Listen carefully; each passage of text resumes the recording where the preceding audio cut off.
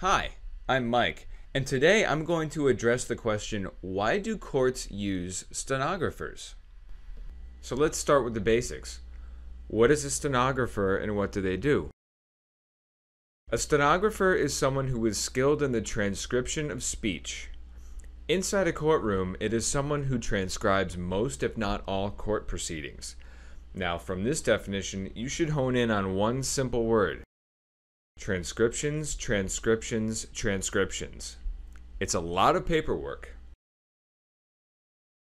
But transcriptions are good because one, they're usually the best form of public record for court testimonies. Two, these transcriptions are used to strengthen or weaken prior arguments or testimonies. And three, original intent. This is the theory by which judges tried to understand the meaning of some legal provision at the time it was drafted or ratified. But now let's ask ourselves couldn't these same tasks be performed by a camcorder or some other media device? Well, not exactly, and here's why. 1. Sometimes media devices are banned from the courtroom because the judge may think they are too distracting. 2.